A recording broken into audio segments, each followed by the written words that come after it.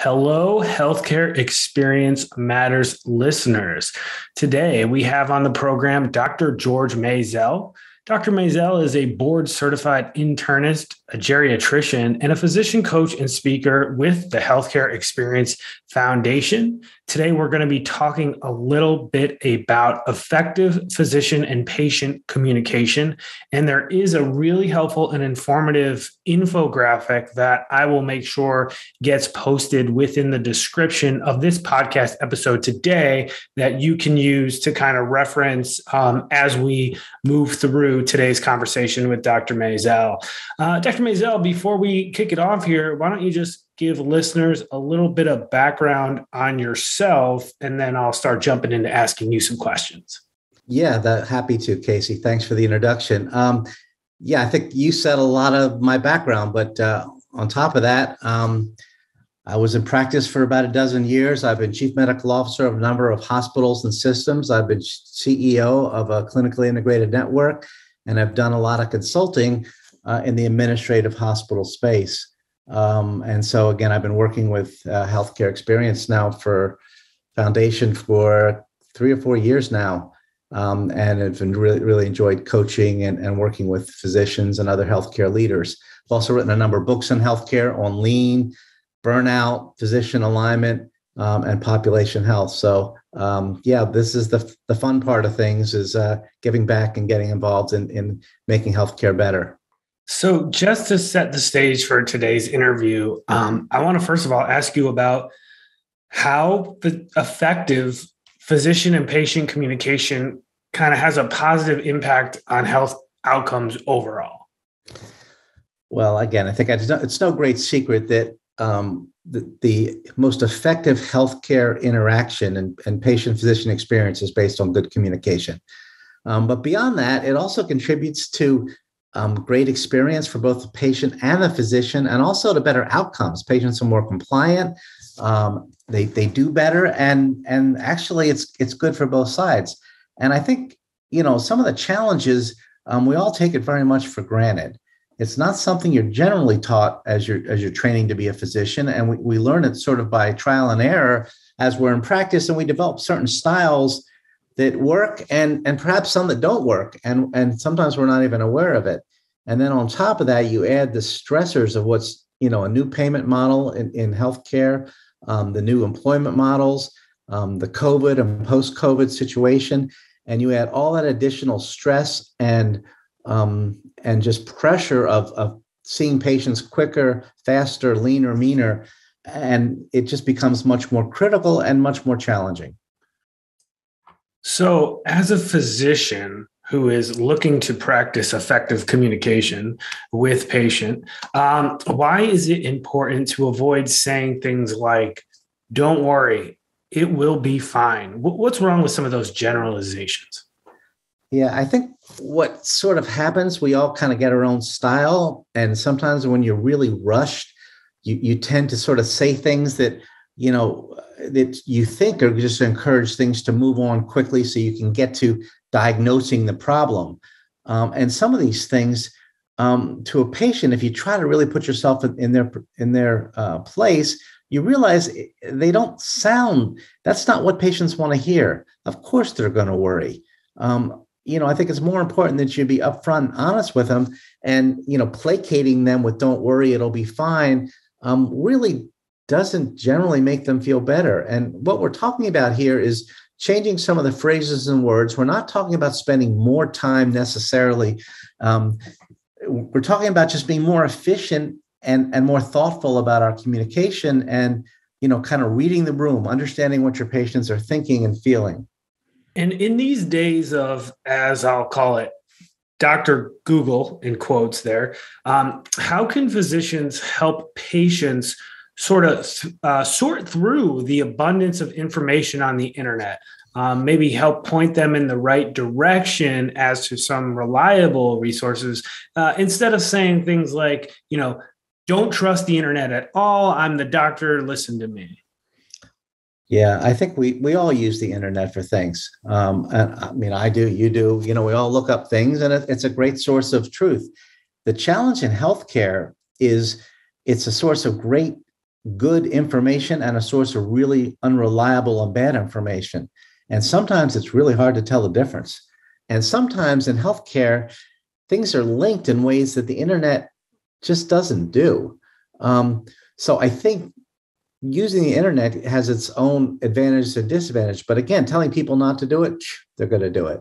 So I think, and telling them not, you know, not to listen to it, that's just not going to happen. So I think what you have to do is acknowledge that there are good and bad resources on the internet, um, and then point to trusted sources and say, you know, stay away from kind of all the, you know, the nonsense sites. And you know, if you stick with really trusted resources, and you know, you can tell what those are, or, or they can be shared um, you're going to get some pretty good information, but it's not going to be everything. And so, uh, again, there's difference between going, you know, going to med school for years and residency and training and experience and practice, and even as physicians, we use the internet or other resources to look up things, but we have the context to know what to look up and where it fits into the into the whole patient care. And so that's really different. So you can't dismiss the internet um, because you that's not going to fly. Um, but you have to somehow steer people toward reliable parts of the internet um, and then you know and directly comment on them um, and and make sure folks know where they fit in. Because again it may be absolute accurate things they find on the internet it just may not be applying to their situation. Uh, so that's where that judgment and experience comes in that you're not going to get on dr google. Oh, I, I, appreciate that. I think it's really important um, to not dismiss the internet as a whole, um, which I think you've established, and um, just kind of a matter of uh, it's a little more nuanced than um, it being, you know, the internet is good or the internet is bad. So. Right.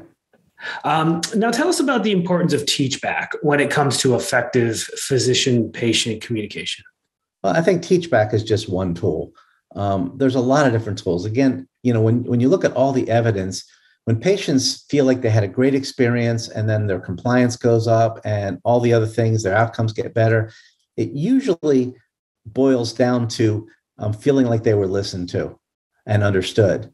And so there's a lot of ways to do that. And there's a lot of sort of ways to to check and and patients often especially if you give them you know some challenging news they sometimes don't listen to the things you say after it um, which is understandable and so th- i think this is just one of the tools. There are many. It's just asking them to repeat um, what what you told them to make sure they understand. Or the other thing you can do, it's, it's not literally teach back, but you can repeat what they've said to you so they know you've under, that you've understood them. So it's really just a lot of little tricks and nuances um, to making sure that you're actually talking to each other rather than talking at each other.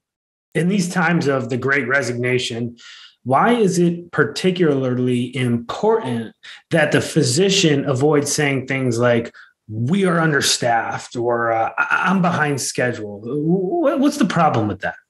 Well, I think if you're a patient, um, that's not really what you want to hear. That's really not helpful. That doesn't make you feel better. It doesn't make you feel confident.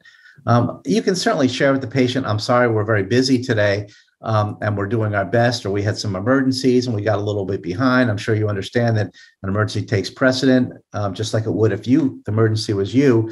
But when you start talking about um, understaffed and things like that, people really don't want to hear it. It, it you know, they want to know how it's going to affect them. Um, and all that's going to do is hurt their confidence and and trust in your you and your institution. So again, they they know what's going on. They're not naive but but t- talking to patients and telling them that you're understaffed is really not something we like to hear because again i don't know about you but when i'm when i'm somewhere i don't want to hear that you're understaffed. Um, that's kind of not my problem. I want to know that i'm going to get good whatever care treatment uh, service at a restaurant whatever. Um, so I, I think we would encourage not to use those kind of phraseology. Um, the other ones that come to mind is it's not my job. There's just certain things that just really um, are not helpful in patients that are obviously scared and worried and want to know what's going on with their own health.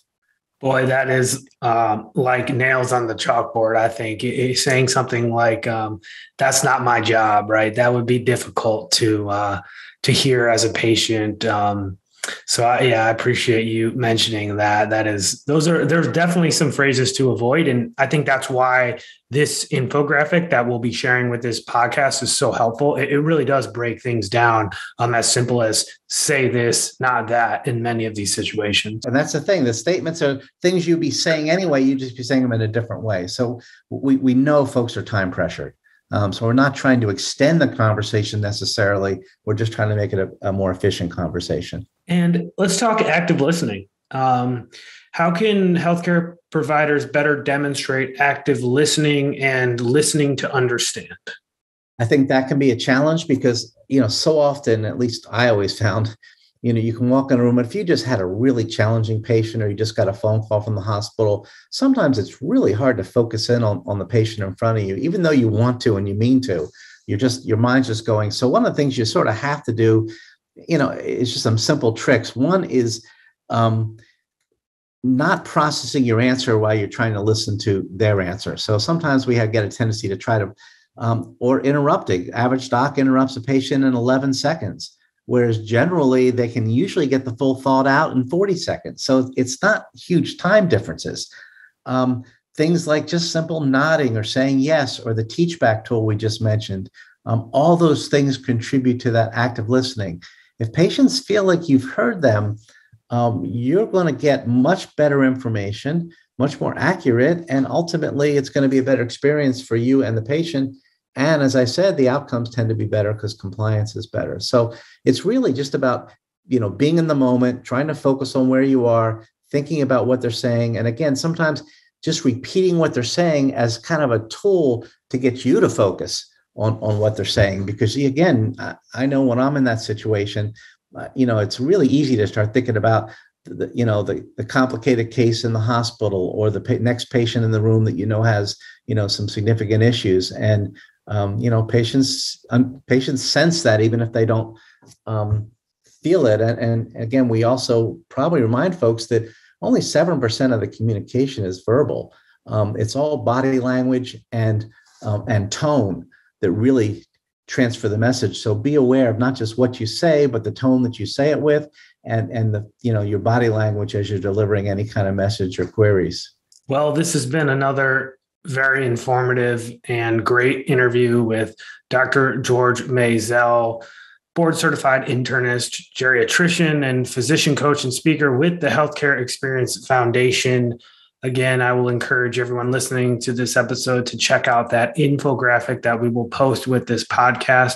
Dr. Mayzell, I'm going to give you the final word here today. Um, is there anything else valuable uh, you'd like to mention before we wrap it up here? I think we've we've covered most of it. I think I just want to sort of once again emphasize, you know, that I know people take this kind of stuff for granted because especially if you've been in practice for years and years and years or if you just got out of residency and you think you've kind of just been educated as much as you could possibly be educated.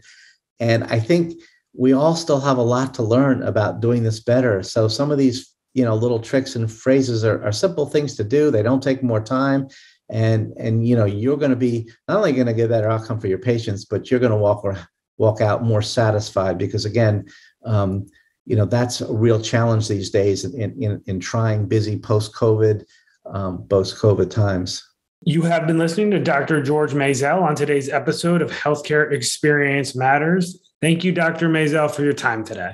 Yeah, Casey, thank you. Have a great day.